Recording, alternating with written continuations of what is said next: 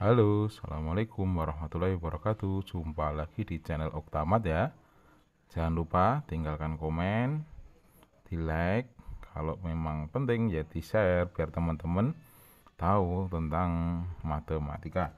Oke ya, di pekan ini atau di video ini Saya akan membuat pembahasan UTBK TK Saintek dimensi 3 Yaitu 2019 saya dapat soal itu dari bank soalnya MATLAB ya UTBK 2019 oke kita coba. Di sini saya akan membahas tiga soal. Soal yang pertama seperti ini diberikan kubus ABCD dengan panjang rusuknya adalah 2 cm ini 2 cm titik P berada di tengah-tengah AB dan Q tengah-tengah CG hmm. R nya terletak di PD sehingga QR tegak lurus dengan PD oke. Langkah pertama dari mengerjakan dimensi 3 kita gambar dulu kubus ya. Kita gambar dulu kubusnya. Gambarnya lumayan ya enggak begitu bagus tapi harus menggambarkan sisinya. Nah ini ya.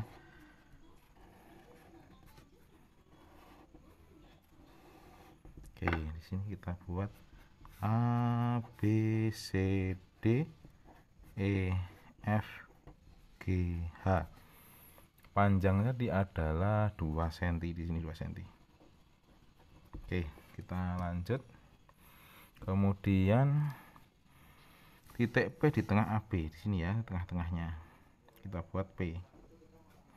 Kemudian R DG di tengah-tengah CG di sini G. Sini G. Nah QR terletak di PD PD kan di sini kita garis dulu. Nah kemudian kita hubungkan dengan Q. Ini ke sini sama ini ke sini. Nah di kubus itu triknya ataupun di dimensi 3 triknya yang pertama adalah triknya adalah cari bentuk segitiga mencarinya jangan dari bentuknya secara fisik tapi cari panjang. Dari panjang segitiga. Segitiga itu nanti akan berbentuk segitiga sama kaki sama sisi atau sembarang ya. Nah itu sekarang. Di sini kalau kita cari secara mendetail kalau segini dua berarti kan di sini satu. Nah sini satu sini adnya dua 2 kuadrat tambah 1 kuadrat berarti kan sini akar 5 ya buat sini aja lah kita buat PD PD itu adalah akar 2 kuadrat tambah 1 kuadrat sehingga akar 5 oke ya kita cek panjang DQ DQ nya berapa? DQ kan juga sama ini. Ini kan setengahnya berarti 1 DC nya ini juga 1 eh 1 2 ya Nah, berarti kan sama panjangnya. 2 kuadrat ditambah 1 kuadrat sama dengan akar 5. Oh, berarti sini adalah sama kaki. Kita cek aja, PQ-nya apakah panjangnya juga sama. Kalau PQ kan PC dulu. Kita cari PC dulu. Nah, nah PC ini, ini kan 1 tambah 2, akar 5. Berarti PQ itu adalah akar 5 kuadrat ditambah 1 sehingga akar 6 nah berarti ini adalah segitiga sama kaki. Nah untuk sekarang kita sudah buat bentuknya segitiga sama kaki di luar kubusnya. Ya trik tadi cari bentuknya terus kita gambar. Ini ya gambarnya sama kaki. Saya usahakan sama dengan gambar. Nah sini sama kaki. Sini D sini P dan sini Q nah kita tulis panjangnya yang kita cari tadi. Di sini akar 5 sini akar 5 sini adalah akar 6 nah setelah itu yang kita cari adalah QR nya nah ini kita cari QR ini adalah tegak lurus. Sama kaki tegak lurus. Kemudian kita cari D DQ nya eh DQ tinggi dari segitiga sama kaki garis sini. Ini O otomatis ini sama. Untuk mencari DO otomatis ya kita gunakan Pitagoras lagi. Ini Pitagoras DO di sini DO sama dengan akar. Nah, DO otomatis kan seteng DP kuadrat kan akar 5 akar 5 kuadrat. Kemudian dikurangi setengahnya sini. Berarti kan akar 6 per 2 kuadrat. Nah kita selesaikan dulu. Akar 5 kurangi 6 per 4 dikali silang. 20 dikurangi 6 dibagi 4 sehingga di sini akar 3 14 per 4 sampai sini aja dulu. Oke. Setelah itu tinggal kita masukkan pakai luas segitiga ya.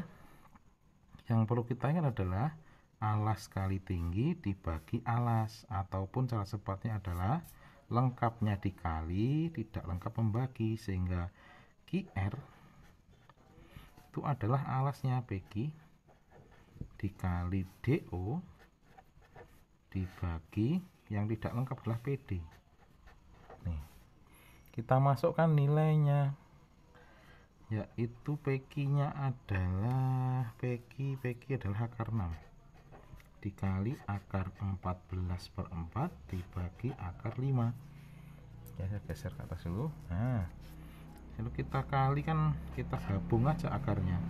6 kali 14 per 4 dibagi 5 tinggal kita gabung ya kita buat agak panjang. Kita coret ya aja ini. 4 sini 3 2 2 sini adalah 7 3 kali 7 berarti akar 21 per 5 Nah, maka ini jawabannya adalah A. Oke ya, ini adalah pengerjaan secara aslinya seperti itu. Tapi kalau kita bisa cari bentuknya ini, kan bentuk ini tadi. Pembaginya otomatis akar 5. Ini akar 5, maka kemungkinan jawaban cuma A sama E. Tinggal pinter-pinter kita untuk mencari menyelesaikan perkaliannya. Itu ya, triknya adalah saya ulang lagi, cari bentuk segitiga, cari panjang segitiga sehingga nanti kita tahu bentuk ini adalah segitiga bentuk apa. Baru kita kasih tindakan. Oke ya itu di soal yang pertama. Kita lanjut soal yang kedua. Di soal yang kedua di sini muncul sebuah balok. Nah balok ABCDFGH memiliki panjang AB nya 8 BCCG 6 Terletak tengah B. Oke, kita gambar dulu baloknya. AB-nya 8. 6 berarti agak pendek ya di sini. Nah, kita buat agak pendek. Agak, agak pendek. Nah, ini. Oh, kepacut, maaf. Nah, agak miring ya. A, B, C, E F G H. Nah setelah itu kita kasih panjangnya. Sini AB nya 8 sini 6 sini 6 oke setelah itu P terletak di tengah AB tengah AB kita buat P. Sudut antara EP sama PG oh sudut. Nah sudutnya berapa? Nih berarti EP kita tarik garis PG kita juga tepat garis. Kita hubungkan sini sehingga membentuknya adalah segitiga. Segitiga apa? Nggak usah kita cek dulu. Kita lihat adalah sudutnya di mana dulu. EPPG yang kembar adalah P. Berarti sudutnya di sini. Kita kasih theta nah triknya kalau dibalok trik dibalok semua panjang pakai Pitagoras. Nah semua panjang pakai Pitagoras. Kita cek aja di sini. Di sini 8 ini berarti sini adalah 4 ini kan 66 berarti sini 6 kita cari panjangnya. Ini cara yang asli ya. Kita cari EP EP PE itu adalah 6 kuadrat ditambah 4 kuadrat. 36 ditambah 16 itu maka 52 oke kita lanjut PG PG PG itu adalah ini 4 ke sini kan sama dengan jarak 4 sama 6 berarti kan 52 tambah 6 52 kuadrat ditambah 6 kuadrat. Sehingga kan hasilnya adalah 52 ditambah 36 akar 88 ya di sini berarti akar 88 EG-nya EG-nya adalah 8 sama 6 8 sama 6 itu otomatis ini 10 nah kebetulan di sini adalah mencari cos berarti kan kita keluarkan dulu ya gambar segitiganya modelnya seperti apa karena segitiga sembarang ya kita buat sembarang aja lah. Yang penting tahu panjangnya di mana saja. Kita masukkan yang diketahui tadi. Sini adalah 8 eh 10 sini adalah akar 52 di sini akar 88 nah cos tetanya berapa?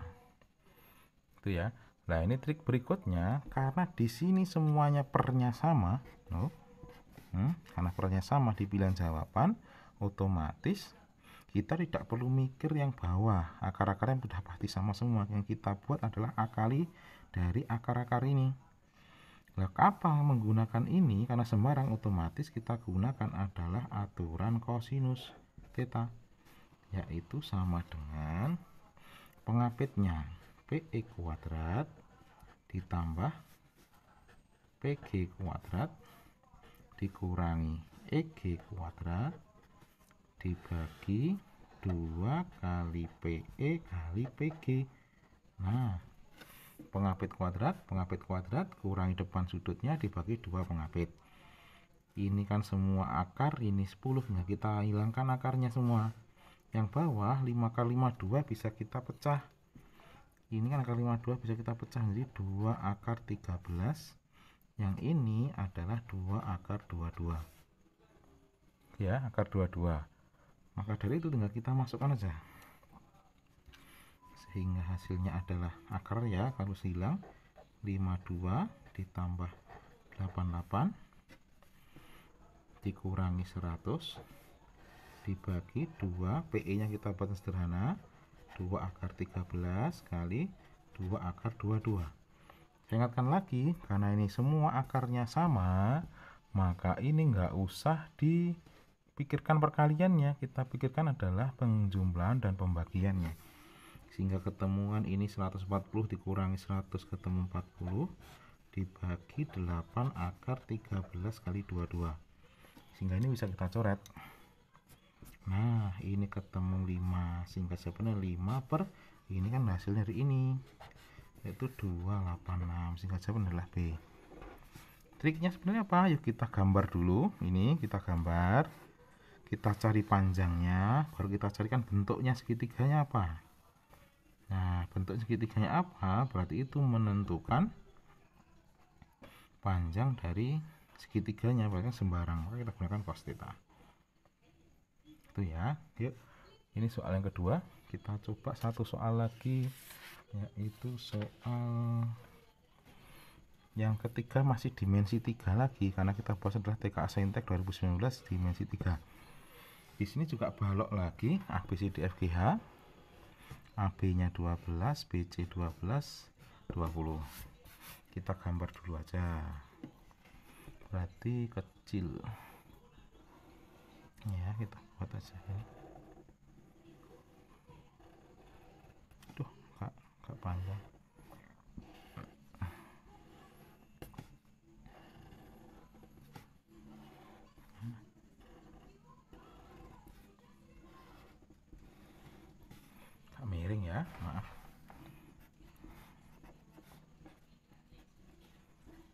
E F G H kita cari panjangnya di sini adalah 12 di sini adalah 18 yang atasnya di sini adalah 20 nah kita ikuti T adalah titik tengah AD kita buat di sini adalah AD nya tengahnya nah sudut jika theta adalah sudut antara GT dengan ABCD maka cos. Boleh kita cari cos.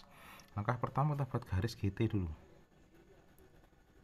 nah setelah itu buatlah perwakilan ABCD yang sejajar tegak lurus dengan TG dan perwakilan itu hanya cuma bisa T ke C karena yang bisa kita hubungkan dengan G adanya di titik T ke C.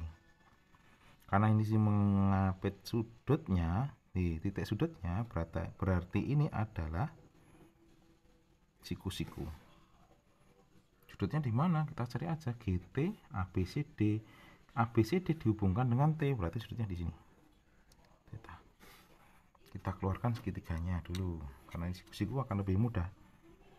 Nah. T C G. Ingat trik tadi.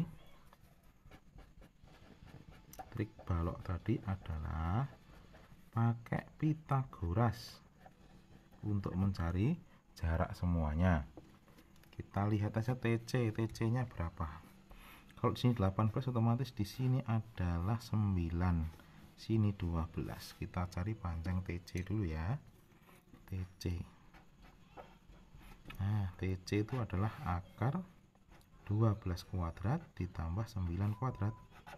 144 ditambah 81 akar 225 atau akar 15 setelah itu kita cari TC sudah kita cari TG TG itu adalah Pitagorasnya segitiga ini TG berarti TG adalah akar akar ini ya TG berarti ya. TG nya 20 kuadrat ditambah ini 15 kuadrat.